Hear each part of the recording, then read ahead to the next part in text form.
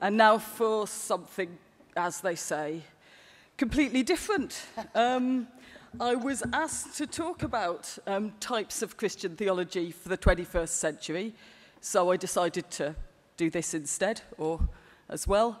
Um, this is the title. I'll explain it in just a minute and I'll give you a picture to look at.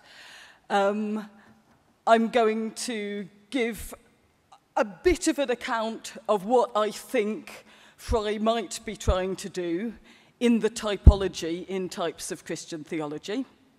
Um, and then I'm going to use the story of Jacob's wrestling at the Jabbok crossing um, as, a, as, a, as a starting, as a thinking around, uh, yeah, to identify um, what I'm suggesting are five interrelated dynamics of Christian theology, particularly relevant to thinking about where we are in the 21st century.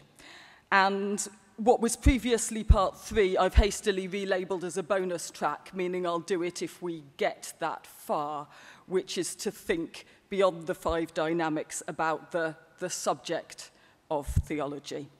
And this is, um, this is what um, It's my favourite picture of Jacob wrestling with the angel, and it's in, the, um, it's in the National Gallery of, of Scotland, very near where I work. But um, sometimes when I show it, people really get put off by it, so I won't leave it on the screen all the time. But there you are. Um, we're going to talk about Frei first, anyways. So, as, as um, we're all very well aware, in the lectures um, collected in types of Christian theology, um, Hans Frei proposes five ways in which Christian theology performs the relationship between, on the one hand, particular Christian narratives and claims, and on the other hand, concerns questions and claims that are taken to be of general or universal human significance. And alongside and associated with the intellectual and conceptual diagramming of theological work, there are important implications, which Frei and his interpreters explore, for questions of theology's institutional location and allegiances. Um, And um, perhaps like all typologies that prove to have staying power, types, as the set of lectures, um, uh, combines a kind of intuitive plausibility, at least for those who share something of Fry's context and assumptions, with considerable provocation, right?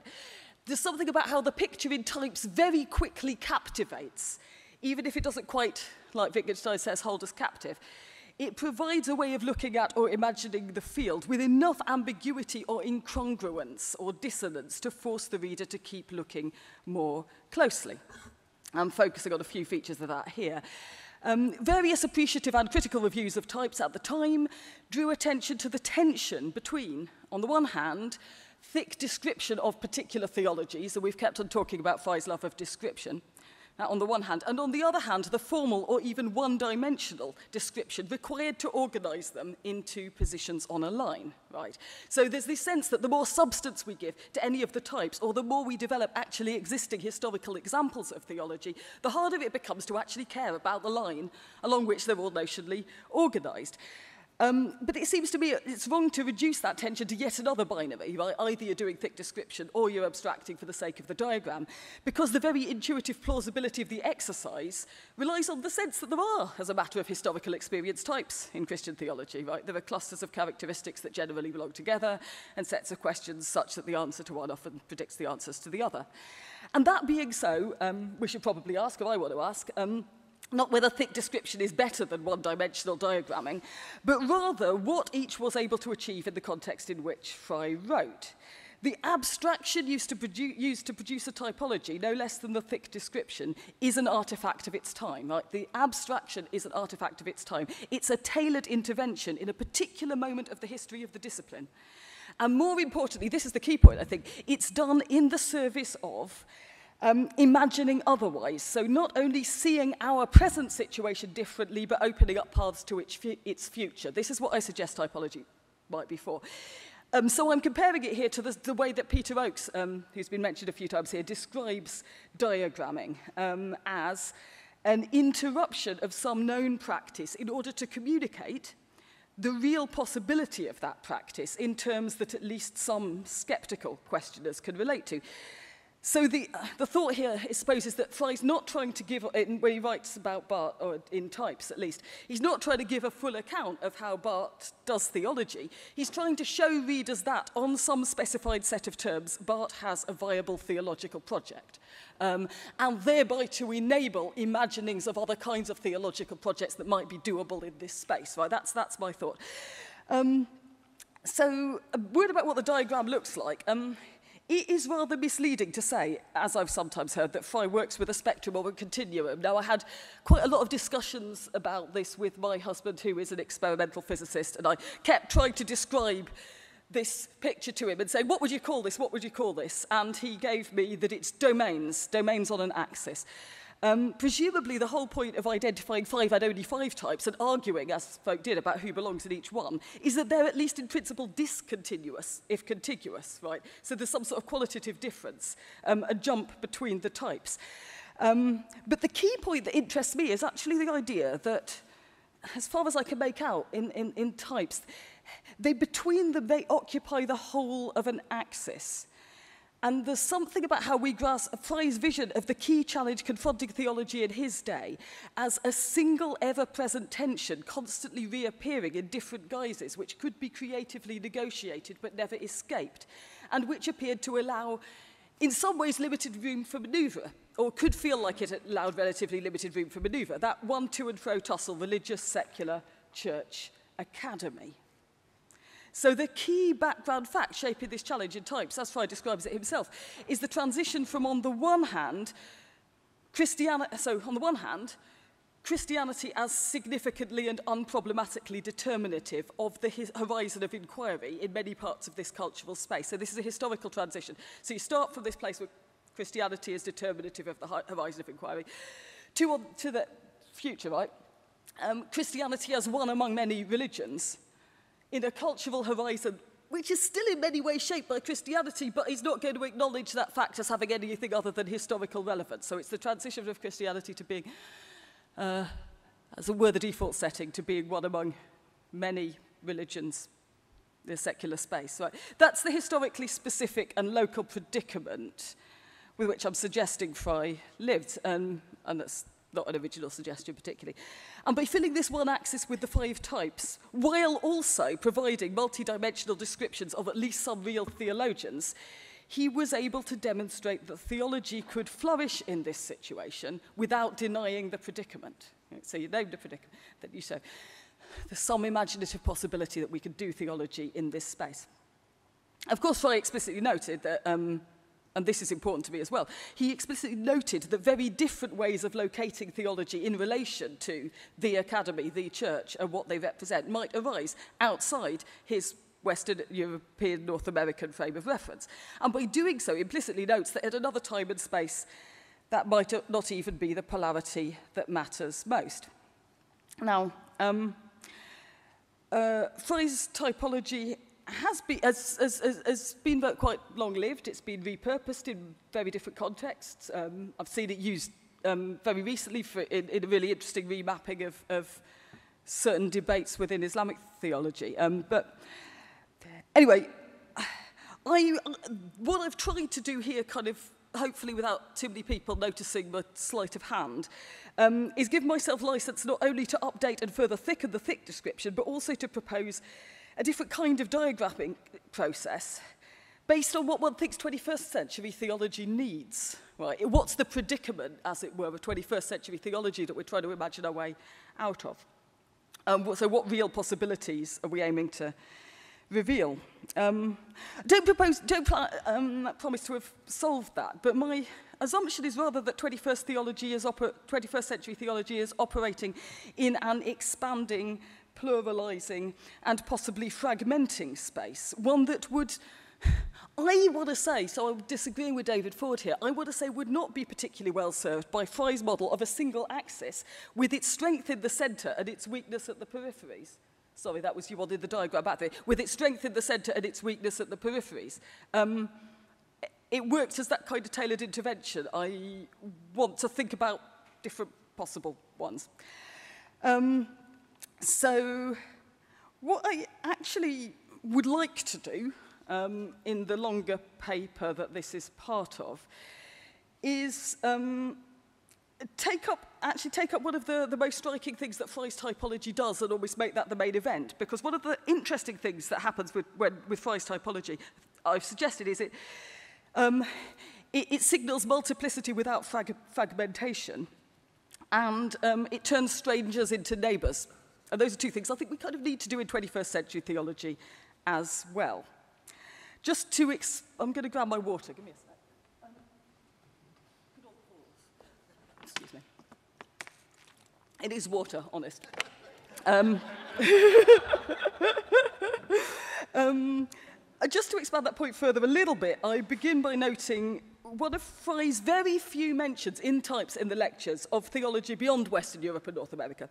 Um, there's this moment where he suddenly suggests that Latin American liberation theology, about which he's elsewhere got quite a lot of critical stuff to say, right, and US conservative evangelical theology in this context, offer similar challenges to theology's settlement with the liberal university by trying to restore theology to its proper home in the community with the faith, faith of the faithful. It's this fascinating moment because it's a really striking example of how Frei's typological kind of work offers some surprising juxtapositions, points of contact that are clearly going to be points of controversy, but that don't, at least don't preclude mutual recognition or fruitful interaction. Um, and that's a feature noted by successive readers in Freud's treatment of the theologians he discusses at most length, most length and most famously, of course, that's Barton Schleiermacher, and they end up, instead of opposite sides throwing stuff at each other, happily located in adjacent domains and maybe even crossing the border a wee bit, right? Um, so there's this point that on the one hand, Feist types allows us to recognize the integrity of genuinely different approaches to theology. And on the other hand, and perhaps more important, even more importantly for contemporary purposes, it places those different approaches in relation one to another. And indeed, it's noteworthy that the five types of theology are themselves already relationally defined. They are negotiations or interactions between two different conversations or communities or two different views of theology, Fry suggests at one point. And moreover, within the wider cultural horizon of the end of Christian cultural hegemony, all of the viable types present possible future ways of being one community among others, or one mode of academic discourse among others. And I've suggested that 21st century theology is marked by expansion, pluralization, fragmentation. And in this context, I suggest that theological description and diagramming for the 21st century needs to follow Frei's lead in a key respect by seeking to facilitate, in Willie Jennings' terms, Willie Jennings turning up again, the joining of different particulars. Um, what I try to do in the longer version of the paper, and I'll give you a wee bit of it now, um, is use do this by thinking about dynamics in theology rather than dynamics or types of activity rather than domains. Um, because it seems to be one of the features of now, 21st century, is that the critical re-evaluation of past theological practice that has done so much to shape the current theological map. Um, so thinking about what voices have been listened to, what voices have been excluded, what kinds of um, uh, disciplinary conversations have been relevant, what have not, you know, the critical thinking about bunch of previously taken for granted stuff has raised more clearly and explicitly than was perhaps the case in the past the question of what theology is doing or what theologians are trying to do. Um, partly what power or influence is exercised and to what end, but also what motivates or animates a particular theological debate, what genres or forms count as theology, and also what the mission or vocation of the theologian in a particular time or place might be, i.e. what is going on. That's an Eberism, isn't it? Eberism. What is going on here? What is going on in the doing of theology, right? Um, and it also seems to me, uh, without for a moment underestimating the continuing institutional power and accumulated capital of Christian theology. But in many, it's, uh, in many of the contexts in which it is done, there are still multiple and varied pressures on theologian to give, theologians to give us account, an account of what our point is. Um, in a way that's by no means limited to the sorts of questions about academic rigor and integrity that might be answered to a greater or lesser extent on the basis of Fry's typology. One doesn't even need, one doesn't just need to justify now why is theology an academically um, okay um, uh, pursuit. One also needs to we're talking about future of the humanities a minute ago. So, well, why is it? Why it is it even worthwhile? Yeah, what's even the point? And this, this, this, this should not be ignored, right? Okay. So I'm going to have help. How am I doing? Okay, I'm going to have a go at um, five um, dynamics of 21st century theology, loosely drawn from the story of Jacob at the Jabbok Ford. Um, the choice of narrative, of course, while not of Jacob at Jabbok, it's, it's not the only one possible, but it's not entirely arbitrary because Jacob wrestling with the angel does appear from time to time in the pages of theolo theological writings as an image of what, what theologians are, are, are doing.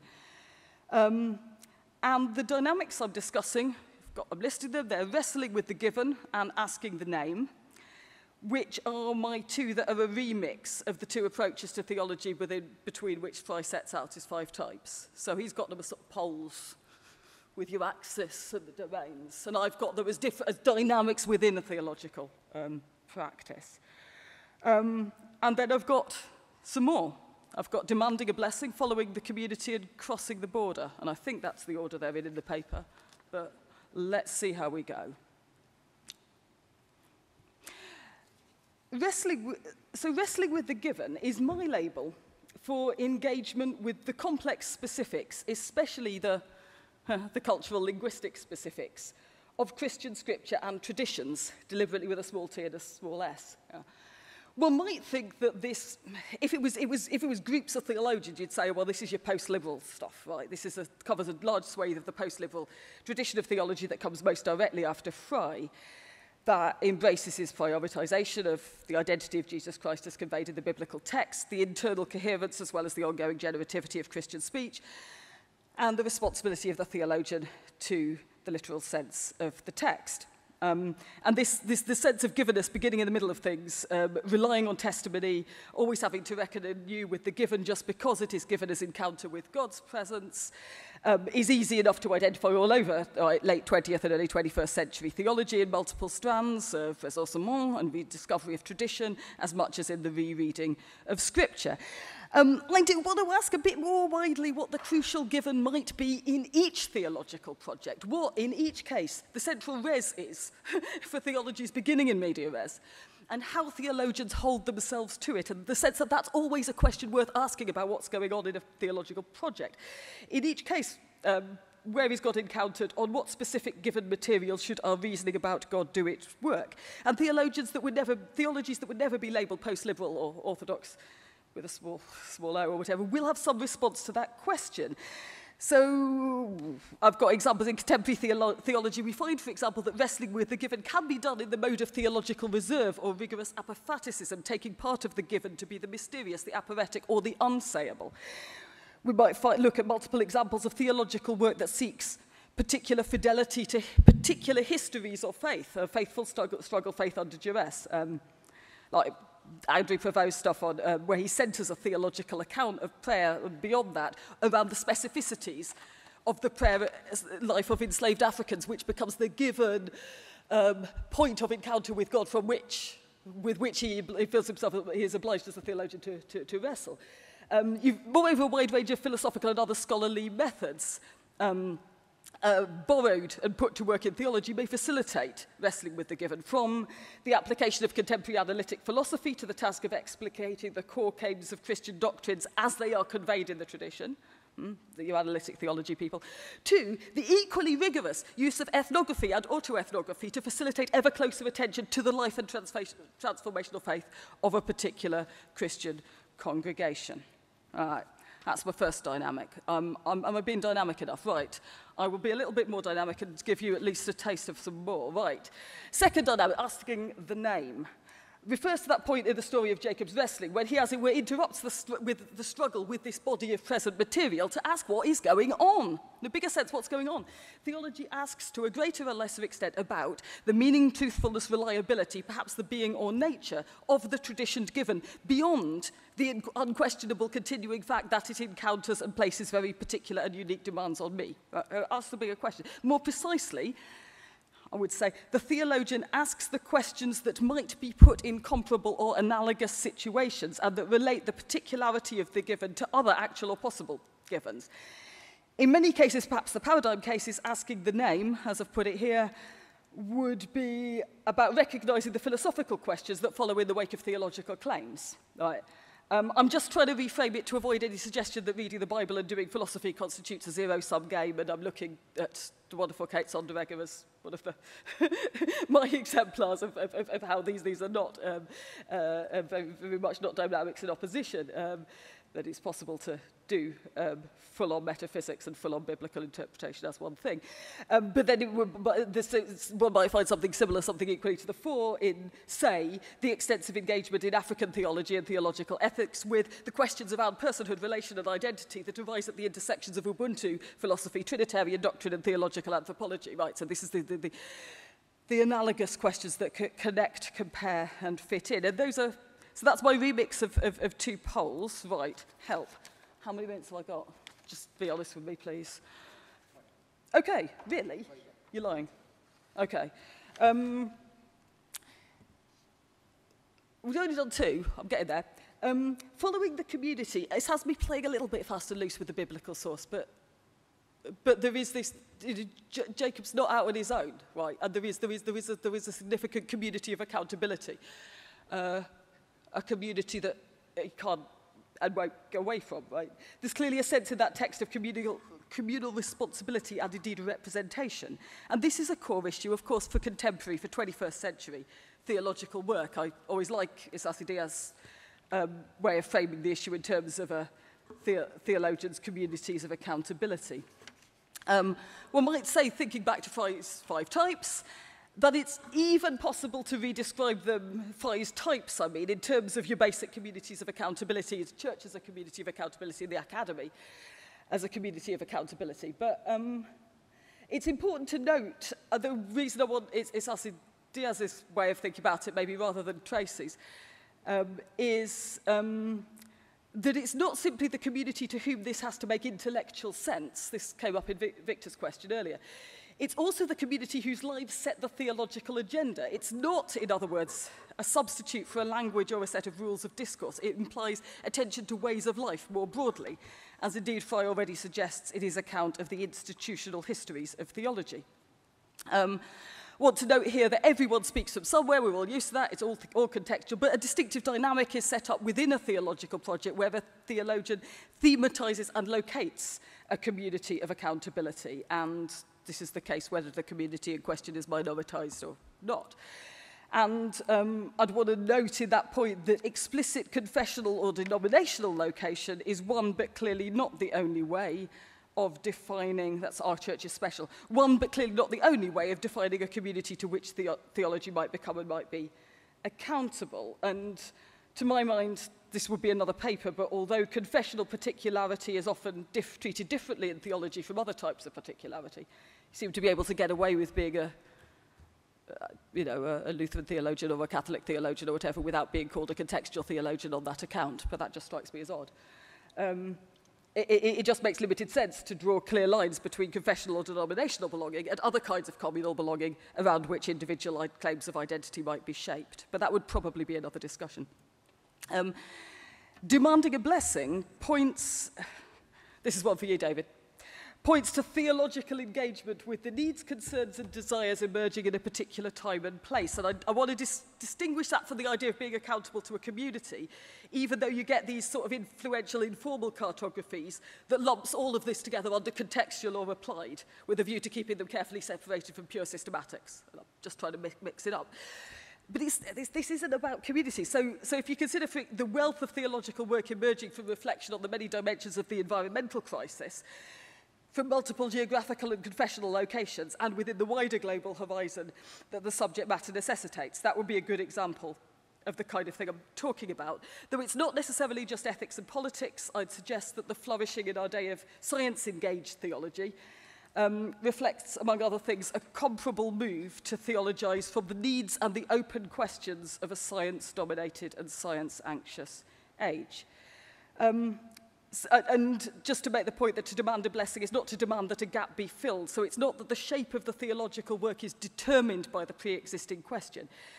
Um, it's more about hearing, voicing and responding to what David Ford refers to as cries, the existentially affecting demands for response in a particular time and place that are not even fully formed questions. And in all that, it's very important for 21st century theology to remember that Christianity and Christian theology can also be, is quite likely to be, a background cause of the cry, part of the problem.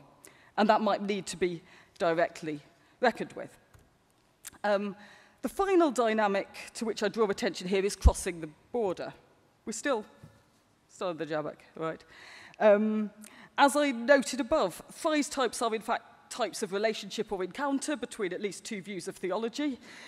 And the negativity to the point of caricature about those he places at the end of the spectrum has proved controversial. Um, But if we bracket the question of whether any real theologian actually falls into one of those, the key message might be that the failure to recognise relationship across difference is a failure to do effective Christian theology. Um, and we know that you scan the horizon of contemporary theology, we find an immense range and depth of intellectual relationships. Um, Theologians' citations, if nothing else, reflect their constant reaching across disciplinary, cultural, contextual, class, or confessional boundaries. And those aren't as it only cross-border raids, they're serious, informed and informing encounters. And my argument is that that's a core practice rather than a marginal distraction and a strength rather than a weakness, which is explicitly not to say that all theology needs to be interdisciplinary, diasporic, cross-cultural, ecumenical, or whatever other adjective signals another set of borders to be crossed.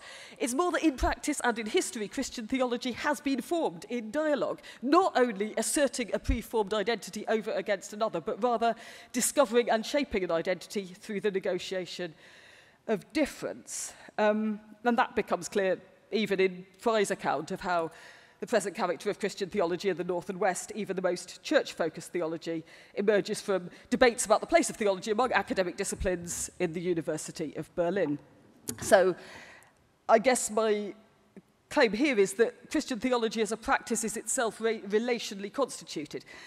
And theolo theologians cross the border by naming, reworking and remaking the relationships that make Christian theology what it is. And the transformation and rethinking of Christianity's relations to Judaism is one of the key examples that's been discussed already today. There's something about how effective theology entails discovering how the relation to the other is partly constitutive of the self. And in the biblical narrative on which I focus, Jacob himself as a character is, of course, rather conspicuously marked as relational all the way down because he's a, he's a younger twin who came into the world clinging to his brother. And, and that's, that, that's, that's just who he is. That's how he's, how he's made.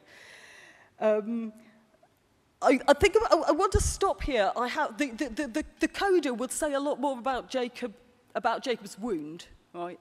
And about the self-involving and self-risking practices of theology. Um, and also something about a change of name um, and the ways in which uh, uh, th doing theology is both um, uh, claiming a particular place in the world and for certain purposes and at certain times being uh, able to sit lighter to that particular place and identity. But maybe we can talk more about that either in the questions or, or later. Thank you all for staying awake, if you did.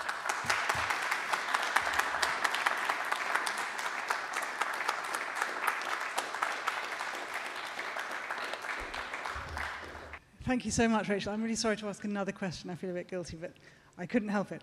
Um, I'm wondering whether how you would position your own um, mapping out of these dynamics um, in terms of one of the dynamics, because presumably one can't do this from nowhere, and so you're doing a kind of theology here.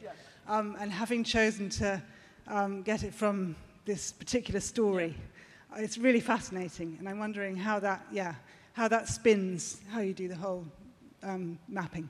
Yeah. That's, thanks, that's, that's really interesting. I'm, hmm. I mean, yeah, I, I, I, probably, I probably could map it out. If I want to say something about where, yeah, okay. I mean, I guess if I want to think honestly about something like communities of accountability, for example, I, I would have to say something about having had my entire way of thinking as a theologian upended by doing World Council of Churches, Faith and Order stuff and realizing I came from a tiny little island on the edge of the world and this is where, you know, the, the global center of gravity of Christianity is somewhere else entirely. And in fact, um, what, what, just needs a way of thinking theologically that will be honest about um, the locatedness of all theological projects in a broken body.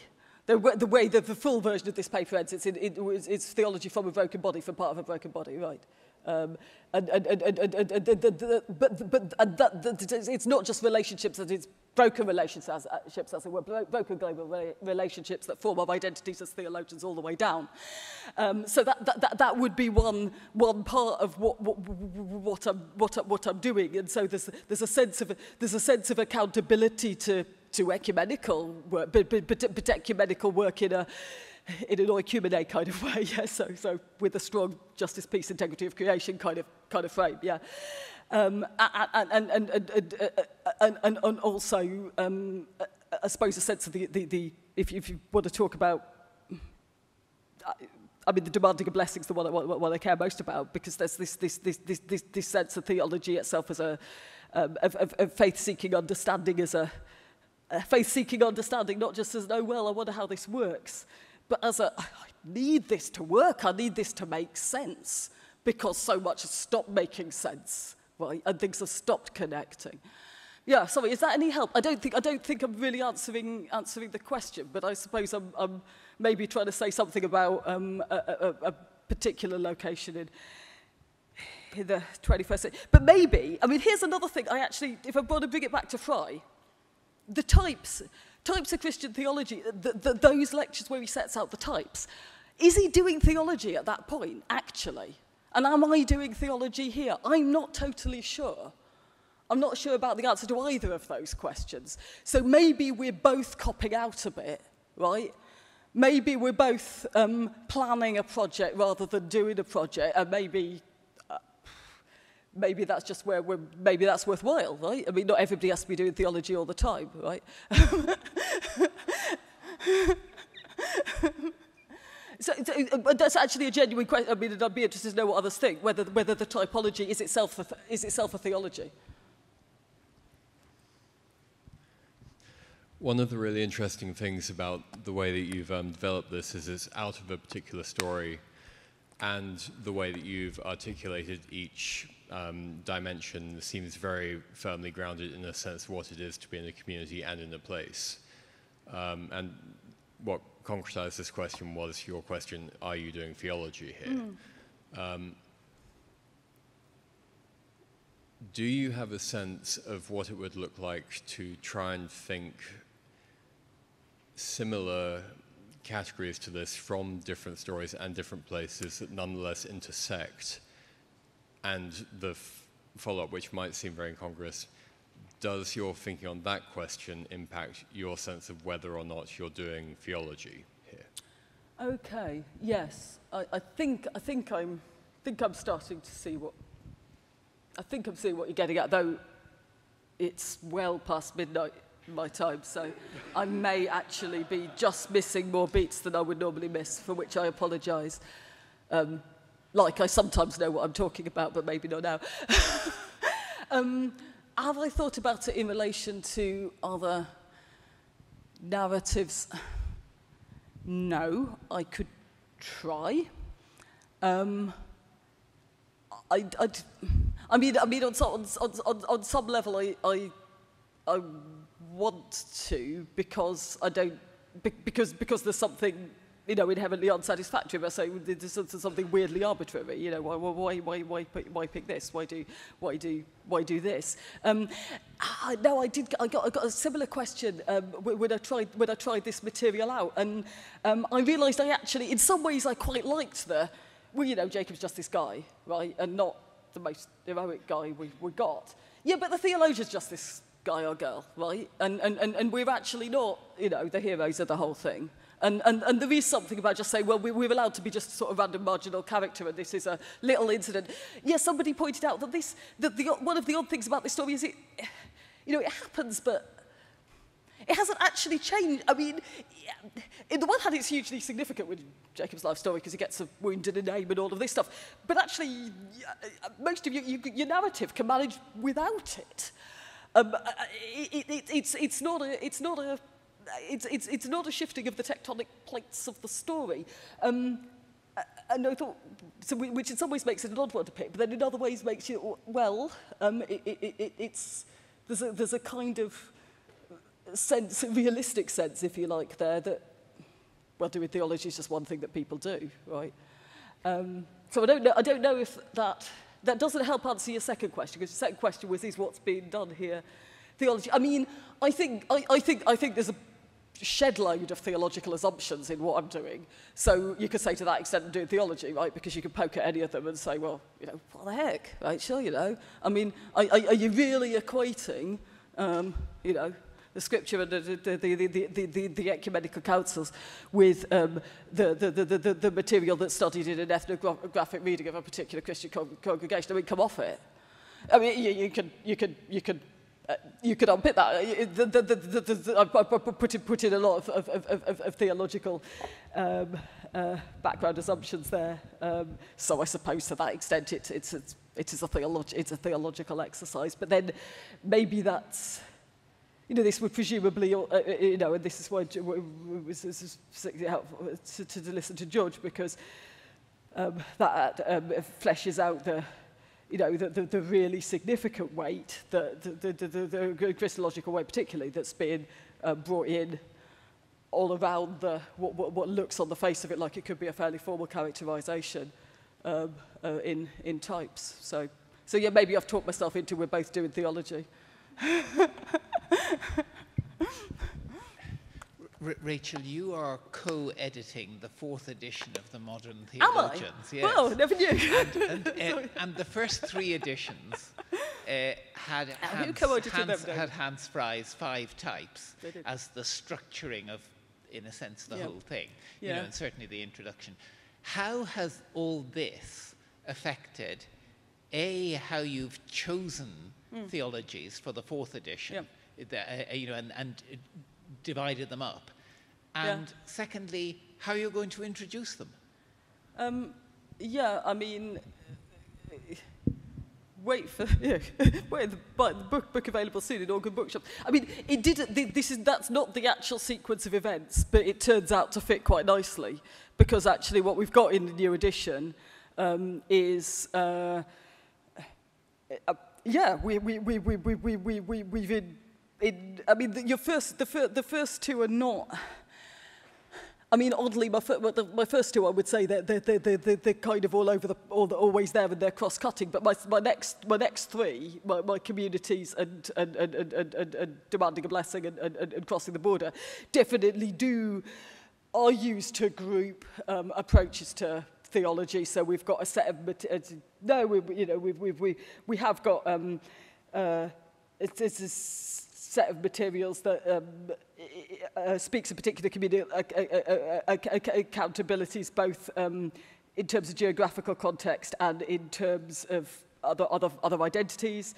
Um, we've got, um, and, oh, including, of course, very, very significantly confessional identities um, and, and, and kind of cross-confessional identities like um, evangelical theology or Pentecostal theology, this kind of thing.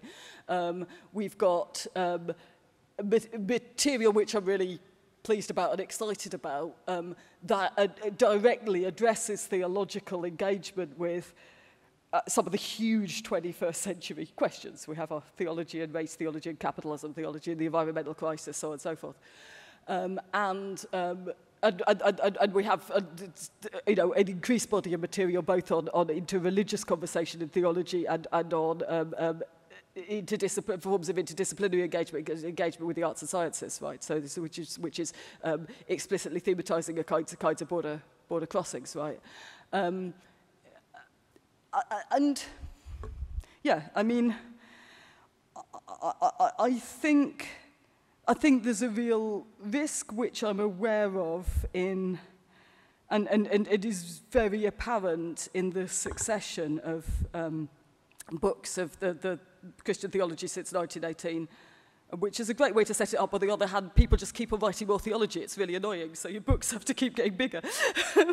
and the, the, the, there is, there is a, a, a noticeable diversification and expansion, which is the thing I'm talking about, about here. So partly what you're, see, what you're seeing there is, is a, a field that grows and then I suppose part of what I, the questions I was asking myself in writing this paper is how does all of this talk to each other? You know how do how does one avoid it's uh, my, the big question for me is actually more how do you avoid you know each of the chapters in a book which has got your you know here is Korean theology here is um uh Eastern Orthodox theology here is um you know, th th theology in dialogue with Hinduism or whatever. How, how do you avoid those simply just becoming self-contained um, um, um, um practices that only, that only talk to themselves? So it's, so, it's, so it's actually what's the cross, what's cross-cutting in the book that I'm most interested and bothered about at this, at this point, which I think, I think is the interesting almost reversal from the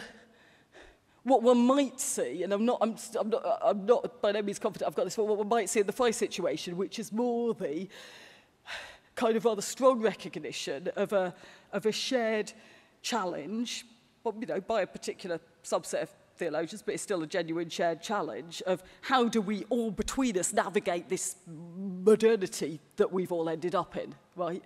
Um, and, and, and that's the, that's the polarization, that's the domain, right? And, and so you could say it's a move, you could say, you could say if you wanted that it's a move from, the post, from a modern to a postmodern kind of, kind of, kind of, kind of approach to, to, to, to the, and the question about what kind of diagramming um, is, is, is, is, is required. But I'm not, I'm not totally sure I want to go there because I only just thought of that the moment I said it, so it's probably wrong. But it's past midnight. Yeah, give me a chance.